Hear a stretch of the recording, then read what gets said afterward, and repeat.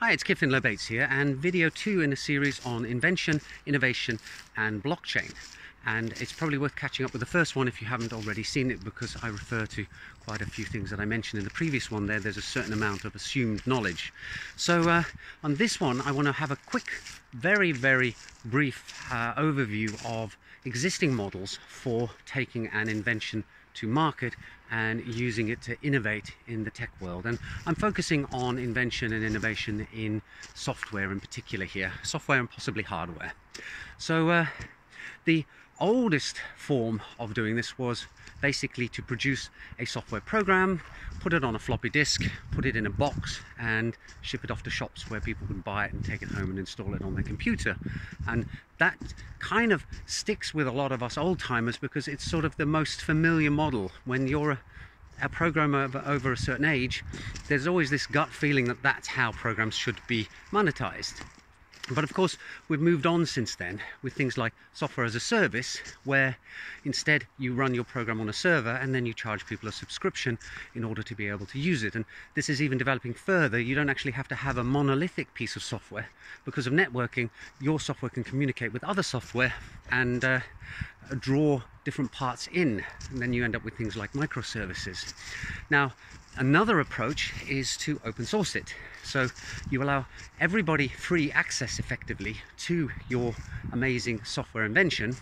And then you can take a number of different strategies to monetize that. One is you build up a reputation as the leader in the field of that software because you're the architect behind it all and then you can start charging consultancy fees and hopefully people will beat a path to your door in order to gain your wisdom and insight because you're the, the go-to person on that particular product. So there's another approach. Now, of course, if you are fundamentally an inventor, all of these things are problematic because you probably don't have the experience in order to know how to market this, how to get the story out there, and uh, simple things like how you're going to price it, what will the market bear in terms of pricing, things like that. These things are all very, very tricky, and when you start off as an entrepreneur without much business knowledge, um, it's a really steep learning curve, and it's one that I, I'm still climbing, to be honest.